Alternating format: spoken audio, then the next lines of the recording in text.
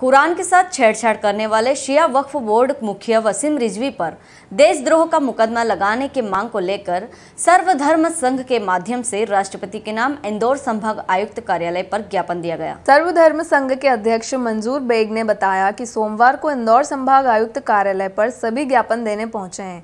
Bag ने बताया कि उन्हें सोशल मीडिया के माध्यम से पता चला, वसीम रिजवी ने पवित्र कुरान की आयतों के साथ छेड़छाड़ करते हुए अमान्य हरकत की है। जिसको लेकर पूरे देश में, बल्कि पूरे विश्व में इसका विरोध हो रहा है। वसीम रिजवी को सख्त से सख्त सजा देने की मांग को लेकर मुस्लिम धर्म के लोग आज ज्ञापन देने पहुँचे हैं। मंजूर बेग के मुताबिक वसीम रिजवी की इस कृत्य से देश के मुस्लिमों में शांति भंग करने की कोशिश की गई है। इंदौर से ब्यूरो राकेश सच्चर के साथ सतीश शर्मा की रिपोर्ट।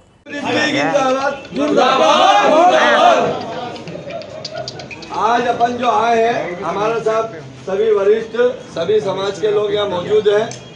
आज जो सुप्रीम कोर्ट के अंदर वसीम रिजवी जिन्हें सिया समाज ने भी निकाल दिया है हमने सोशल मीडिया के माध्यम से मालूम पड़ा है कि सभी और उन्हीं के परिवार ने भी विरोध किया।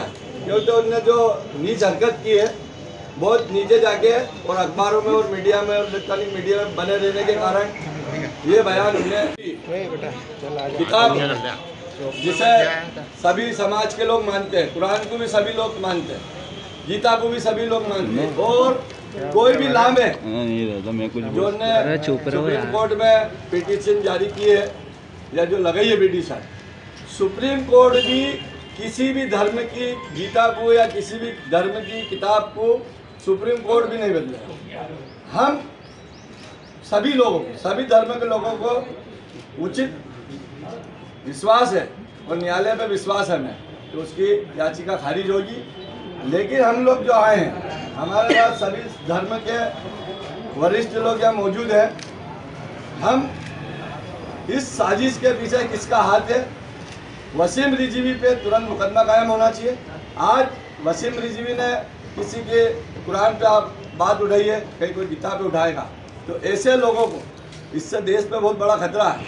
आज मुस्लिम आज मध्य प्रदेश सर्वधर्म संघ के माध्यम से पिछले जो गिरोह घटना घटित हुई एक सुप्रीम कोर्ट में रिट पिटीशन लगी कि मुस्लिम समाज का पवित्र कुरान में से कुछ आयतें हटाने की बात कही गई है जिसका भारत में नहीं पूरे विश्व में विरोध हुआ है।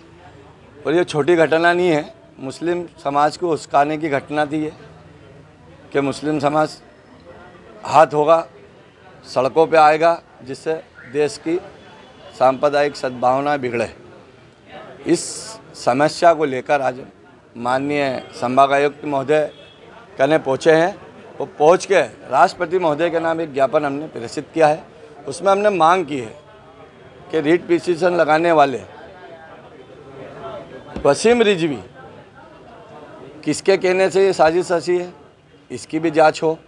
इतनी बड़ी घटना हम घटी जिससे पूरे देश में नहीं विश्व में इसका रोष है। क्या और- ऐसी क्या घटना हुई जिससे मुस्लिम समाज में आज मुस्लिम समाज ये तो बहुत छोटे और बहुत कम लोग यहाँ मौजूद हुए। कुरान के पीछे सर कटा ले आदमी।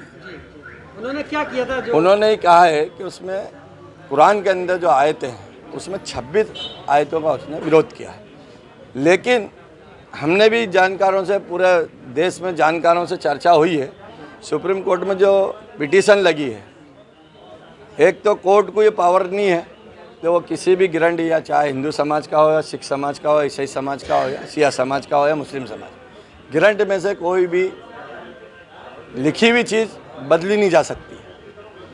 तो हमें न्यायालय पे, उचित न्यायालय पे और सुप्रीम कोर्ट पे विशेषकर विश्वास है कि जो उसने रिट पिटीशन लगाई है वसीम रिजवी ने उसने बहुत निष्ठा और बहुत छोटी हरकत आज ये जो ज्ञापन दिया है, किसके नाम दिया और क्या मांग की है? ये माननीय राष्ट्रपति महोदय के नाम एक ज्ञापन दिया है और इसमें हमने जो साजिश हुई है कुरान में से आयत हटाने की जो पिटीशन लगी है इसकी जाँच हो और वसीम रिजवी के खिलाफ तत्काल मुकदमा कायम होना चाहिए। ये कौन है वसीम वसीम रिजवी? कहाँ का ये सिया समाज से ताल्लुक़ रखते हैं लेकिन उनके परिवार ने भी मीडिया और सोशल मीडिया के माध्यम से हमें मालूम पड़ा है कि उन्होंने भी बेदखल कर दिया उनसे और सिया समाज ने भी बेदखल कर दिया। आपका नाम और पद बताइए। मंजूर बेग अध्यक्ष सर्वधर्म संघ। हेलो फ्रेंड्स आप देख रहे हैं हमारा channel S W twenty four news हमारे सारे वीडियो सबसे पहले देखने के लिए आप हमारे चैनल को सब्सक्राइब करें और पास में लगे बेल आइकन को दबाना बिल्कुल भी ना भूलें।